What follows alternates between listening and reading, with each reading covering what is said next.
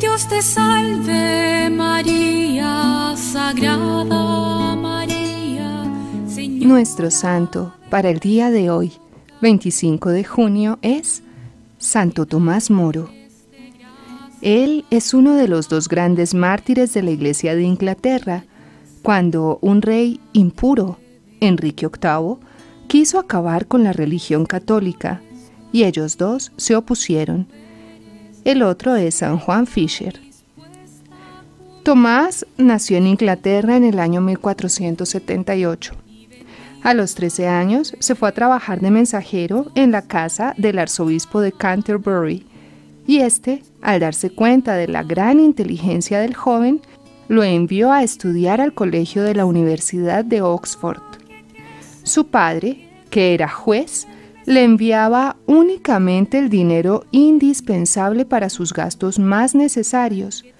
Y esto le fue muy útil, pues como él mismo afirmaba después, por no tener dinero para salir a divertirme, tenía que quedarme en casa y en la biblioteca estudiando, lo cual le fue de gran provecho para su futuro. A los 22 años ya era doctor en abogacía y un brillante profesor.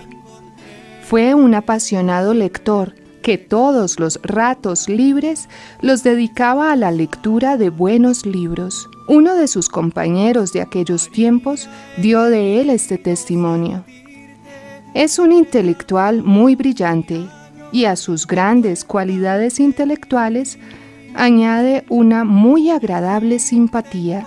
Le llegaron dudas acerca de cuál era la vocación para la cual Dios lo tenía destinado, al principio se fue a vivir con los cartujos, pero después de cuatro años se dio cuenta de que no había nacido para esa heroica vocación. También intentó irse de franciscano, pero resultó que tampoco era ese su camino. Entonces se dispuso a optar por la vocación del matrimonio. Así que se casó, tuvo cuatro hijos y fue un excelente esposo y un cariñosísimo padre. Su vocación estaba un poco más allá. Su vocación era actuar en el gobierno y escribir libros. Para con sus hijos, para con los pobres y para cuantos deseaban tratar con él, Tomás fue siempre un excelente y simpático amigo. Acostumbraba a ir personalmente a visitar los barrios de los pobres para conocer sus necesidades y poder ayudarles mejor. Con frecuencia invitaba a su mesa a gentes muy pobres y casi nunca invitaba a almorzar a los ricos. A su casa llegaban muchas visitas de intelectuales que iban a charlar con él acerca de temas muy importantes para esos momentos y a comentar los últimos libros que se habían publicado. Su esposa se admiraba al verlo siempre de buen humor, pasara lo que pasara. Era difícil encontrar otro de conversación más amena. Santo Tomás escribió bastantes libros, muchos de ellos contra los protestantes, pero el más famoso es el que se llama Utopía. En ese libro describe una nación que en realidad no existe pero que debería existir.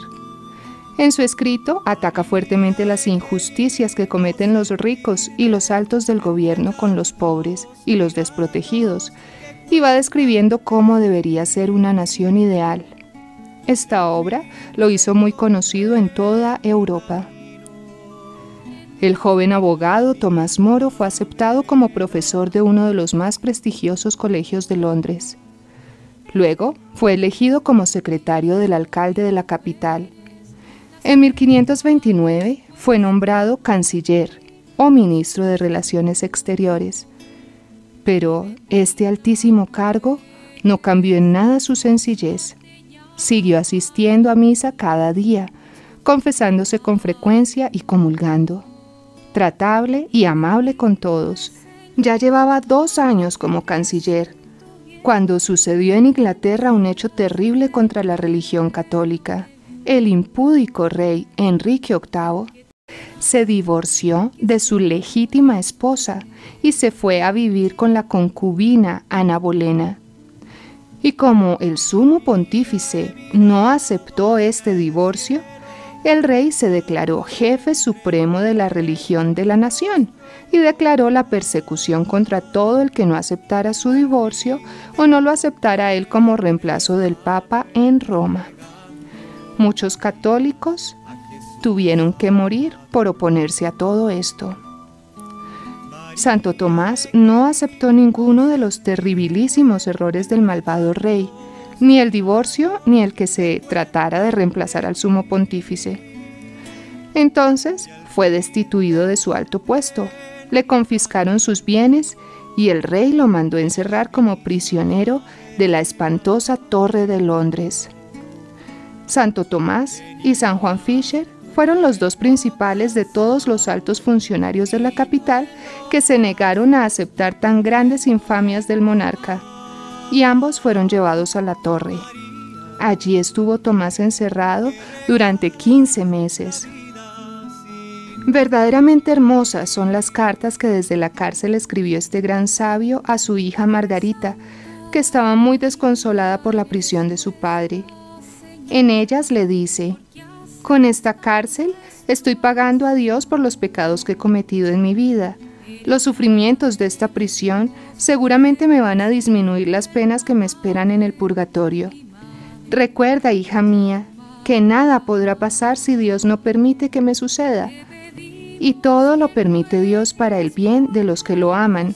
Y lo que el buen Dios permite que nos suceda es lo mejor, aunque no lo entendamos, ni nos parezca así. El día en que Margarita fue a visitar por última vez a su padre, vieron los dos salir hacia el sitio del martirio a cuatro monjes cartujos que no habían querido aceptar los errores de Enrique VIII.